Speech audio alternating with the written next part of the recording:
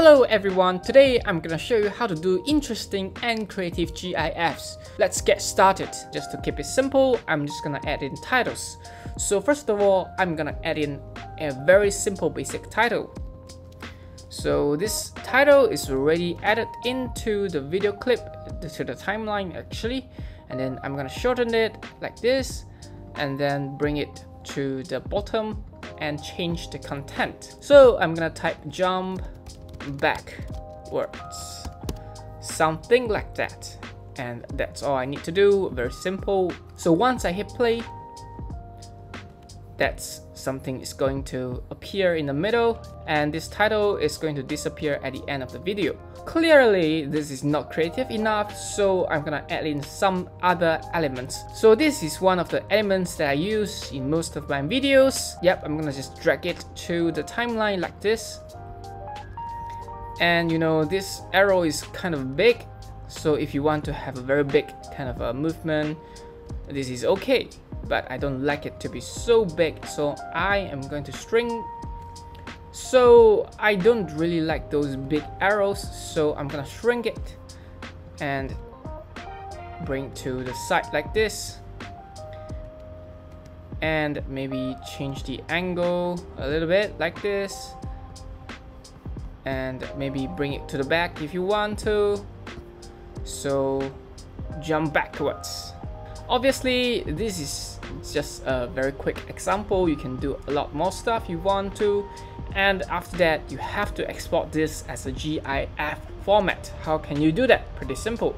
Just go to your timeline and go this icon over here share the project event clip or timeline range and just click on this button and add destination go to compressor settings double click on it and just select built in and go to motion graphics. This there are six settings. So i'm just gonna choose either animated large or small.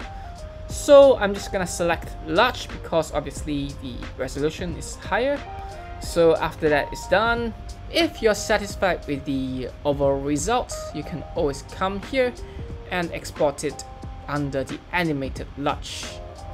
Yep, and maybe rename the project jump and you can have a quick preview before exporting. And if you're satisfied with this, you can just go click on next. It's going to take a while to, you know, compress the entire project, so please be patient. After the project is successfully exported, you can go to the folder and select the file you have exported and press spacebar.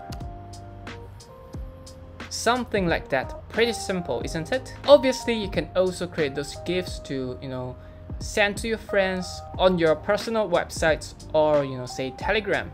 And, you know, same as usual, just go there, export the large animated image and maybe rename sub and export it. Same as usual, you can just select the GIF, press spacebar, hit play, and you can export this to your personal website or your Telegram or whichever platform that you're using. That's all you need to do. Pretty simple. And that's pretty much all I wanted to show you today. And remember again to subscribe to this channel and like this video. Thank you very much and bye bye.